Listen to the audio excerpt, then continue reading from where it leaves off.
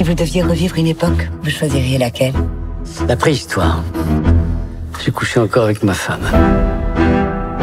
Cher Monsieur Drummond, votre fils et moi serions très honorés de vous offrir la soirée de votre choix dans le cadre des Voyageurs du Temps. Concernant l'époque, vous avez une idée?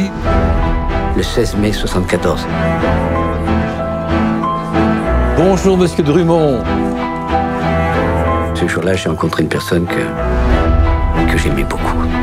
Viens. Allez, viens. Baisse un peu la lumière. Quand vous dites que vous organisez des soirées sur mesure, hein, c'est pas seulement de la pub. Je sais que tout est faux, mais c'est pas désagréable.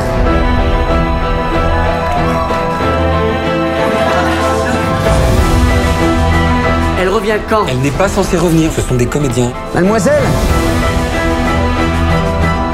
Je sais pas ce qui vous attend, je sais pas ce qui va se passer, mais. Vivez-le à fond. Merde Putain, je parle comme une chanson. Vous avez demandé quel âge, vous 25 ans. Ah, Et vous 18. Ah, carrément. Donc on y est. Pourquoi se priver?